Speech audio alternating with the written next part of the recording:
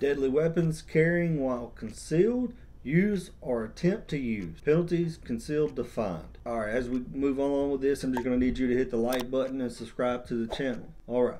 This is 9737 1, subsection 1. Except as otherwise provided in section 45 9 101, any person who carries concealed on or about one's person any bowie knife, dirk knife, butcher knife, switchblade knife, metallic knuckles, blackjack, slingshot, pistol, revolver, or any other rifle with a barrel of less than 16 inches in length, or any shotgun with a barrel less than 18 inches in length, machine gun, or any fully automatic firearm or deadly weapon, or any muffler or silence for any firearm, whether or not it is accompanied by a firearm, or uses or attempts to use against any person any imitation firearm, shall, upon conviction, be punished as follows. 1A by a fine not less than $100 nor more than $500 or by imprisonment in the county jail for not more than six months or both in the discretion of the court for the first conviction under this section. 1b by a fine not less than $100 not more than $500 imprisonment in the county jail for not less than 30 days nor more than six months for the second conviction under this section. 1c by confinement in the custody of the department of corrections for not less than one year nor more than five years for the third or subsequent conviction under this section. 1D. By the confinement in the custody of the Department of Corrections for not less than one year, nor more than 10 years, of, for any person previously convicted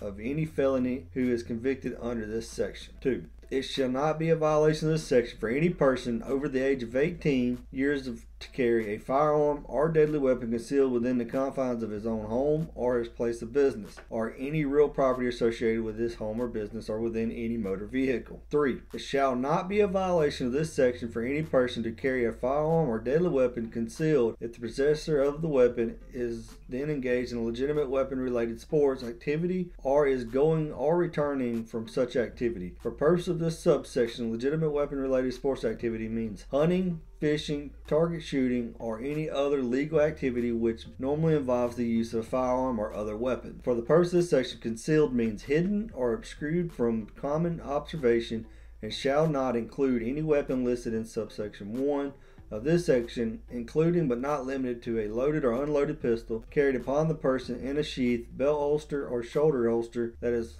wholly or partially visible, are carried upon the person in a scabbard or case for carrying the weapon that is wholly or partially visible. If you look over to my left, you'll see a button that's going to be to subscribe to the channel. Please click that. If you looked over here to my right, you're going to see a video that YouTube thinks you want to watch next. Click both. Let's keep it going. Have a good day.